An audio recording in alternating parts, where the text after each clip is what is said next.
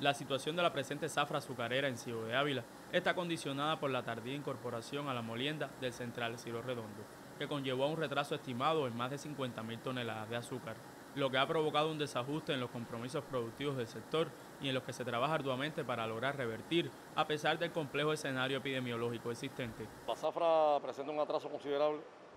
de más de 50.000 toneladas de azúcar a partir de que todos conocemos que Ciro debía haber arrancado en diciembre y no se pudo. Eh, se conoce del tema inversionista de centrales de bioeléctrica, ahí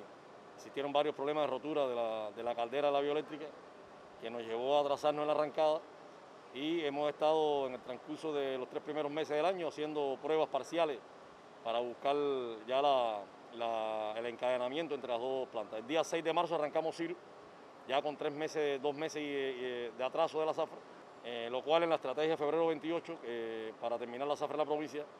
eh, estamos planificando de que parte de la caña que debía morir Ciro, concentrarla en los otros dos centrales, es decir, en Primero Enero y en Ecuador, y entonces Ciro haría eh, el mes de zafra de marzo, abril y hasta el 15 de, mayo podría estar moliendo, lo cual nos podría dar un nivel considerable de producción de azúcar y recuperar parte importante del atraso que, que hoy presenta la provincia. Finalmente, con la entrada en funcionamiento del Central Ciro Redondo, uno de los más modernos del país, las perspectivas son otras en el territorio, mientras el nivel de actividad de los ingenios de Primero de Enero y Baraguá sí ha sido más estable. En el caso de Primero de Enero, de igual manera, la, industria como industria ha venido mejorando. Los parámetros de eficiencia también hoy presentan una mejoría. Todavía no alcanza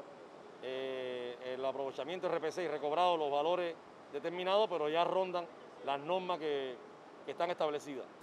La actual contienda azucarera en el territorio avileño demanda de una mayor eficiencia en todos sus aspectos para lograr cerrar la zafra con indicadores positivos. De ahí que el empeño de los hombres y mujeres de esta industria sea la clave para poder materializar este objetivo.